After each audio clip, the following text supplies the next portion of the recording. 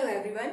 Today's topic is application or uses of marginal costing. This is the important topic and marginal costing is various it's important for uh, taking the decision in management in various types or these applications are number 1 fixing the selling price. It means selling price is fixed according to when selling price below marginal cost, when in normal price, when in minimum price and when in emergency price.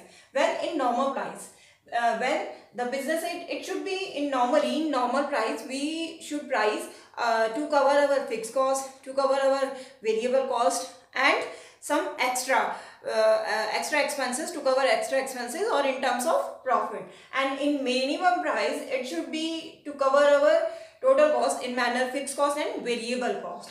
And in emergency price emergency price equal to marginal cost. It means some urgency came then we will at least cover our uh, marginal cost means variable cost. And when selling price below marginal cost it means if we shut down our uh, a unit then we want then at least our marginal cost will cover uh, so selling price uh, or it's lesser than marginal cost then we uh, will understand yes okay then uh, the uh, scrap value will cover then this price is equal to scrap value.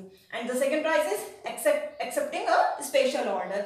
In this situation accepting a special order means when we cover our fixed cost and we don't use our total capacity and the capacity is remained remained unutilized then we want to uh, take taken an another order and uh, uh, we want only and uh, to cover our variable cost and some other expenses uh, in the form of profit. So in this manner we uh, ignored fixed cost and choosing the profitable alternative. If we has two or three alternative then we want to which alternative is beneficial for us then make or buy decision. In this situation, we want uh, we want to uh, make the component or uh, buy from the outside. What we should accept this proposal. Determination of optimum sales mix. In this situation, what is our uh, sales mix? What is our optimum sales mix? And in this situation, closer of the production. It means which unit we should be closer we should closed. Key factor decision. In this we uh, first we uh, decide what is our key factor and then according to this we will calculate it. In this situation we first we will calculate fixing the selling price and how we will calculate it. This is a problem of application of marginal costing and the problem is two business houses A limited and B limited sell the same type of product in the same market their budget profit and loss account for the year ending 31st March 2002 is given below. Sales for A Limited 1,50,000, for B Limited 1,50,000. Same. Fixed cost for A Limited 15,000 and for B 35,000. Variable cost for A Limited 1,20,000 and for B 1 lakh and total cost is for A Limited 1,35,000 and again B Limited is same 1,35,000 and the deduction is known as net profit net estimated profit for A limited 15,000 and for B limited same 15,000. Now you are required to find out, calculate profit volume ratio, break even point and margin of safety of both business houses. This point is same as earlier questions and the second point is state which business is likely to earn greater profit if in condition of heavy demand for the product and in condition of low demand for the product. This point is changed as earlier question and first point is same. Now first we will do first question how you will calculate profit volume ratio. First you will calculate profit volume ratio and PV ratio formula is S minus V upon S multiply 100 for A and B both limited for A limited and for B limited. S minus V. S 1 lakh 50,000 minus V. V 1 lakh 20,000 upon S multiply 100 and for B limited. And for B S 1 lakh 50,000 minus V. 1 lakh S minus V upon sales multiply 100. Now we will solve this. 30,000 divided by 1,50,000 multiply 100 and the answer is 20%. Now we will solve this.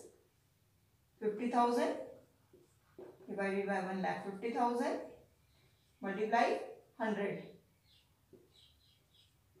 and the answer is 33.33% and now we will solve break even point. And break even point formula is fixed cost upon PV ratio. Now we will calculate break even point. Break even point equal to fixed cost upon PV ratio. And fixed cost in case of A limited 15,000 upon PV ratio 20 percent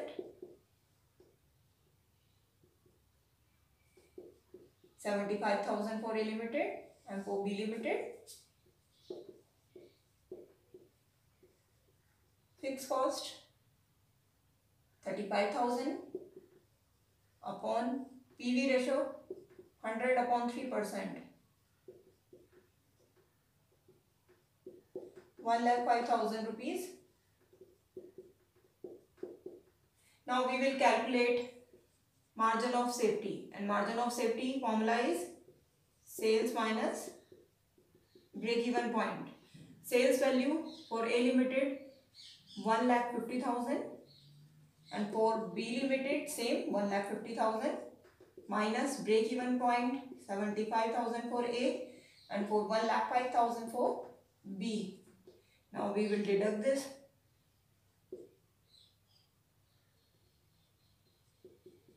75,000 rupees and for B 45,000 rupees. Now we will do second part of this in case of high demand and in case of low demand which unit is better or more profitable. In case of high demand in case of high demand we will consider as per pv ratio. In according to pv ratio b limited is uh, more beneficial than a limited. In this situation pv ratio of b limited is greater than a limited so, B Limited is more profitable.